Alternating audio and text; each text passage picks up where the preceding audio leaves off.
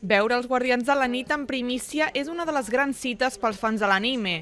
Una cita que van fer realitat aquest dissabte els aficionats d'aquest gènere japonès en la segona edició de Granollers Zona Friki. Són sèries japoneses eh, traduïdes, evidentment, per la distribuïdora i bueno, aquí posem un tast de tres sèries, dels primers pilots d'aquestes tres sèries, que després, més endavant, la gent podrà veure a plataformes, eh, Netflix, eh, Amazon Prime, però aquí estan avui en exclusiva.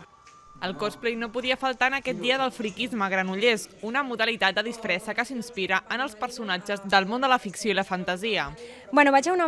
avui porto una barreja, tinc diversos personatges i avui porto una barreja una mica Lolita, que es diu, que és eh, pues així amb faldilles grans, amb, amb ulls grans i una mica encursetada.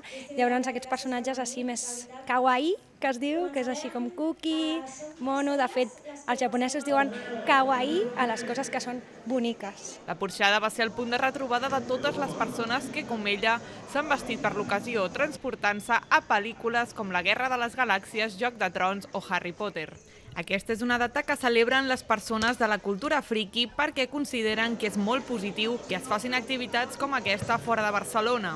A cada ciutat, cada petit eh, lloc eh, vol tindre el seu saló del manga o els salons del còmic. Abans només teníem Barcelona, per exemple, per als les, els grans esdeveniments, però cada ciutat vol tindre pues, un petit espai, però jo crec que està bé, no? perquè es, es diversifica, també la gent bueno, es va movent d'un lloc a un altre i no sempre va ser el mateix i jo crec que, és, que és positiu, perquè tot el que sigui promoció de, de coses, de, això és cultura, vulguis o no també. Enguany la segona edició de la Zona Friki s'ha presentat amb moltes més activitats, però sobretot amb més paradetes que la primera edició, amb un total de 36.